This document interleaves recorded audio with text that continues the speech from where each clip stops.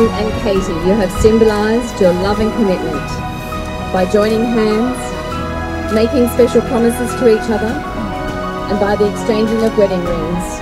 Therefore, I now call on all of you to witness and celebrate that Hayden and Katy are now husband and wife.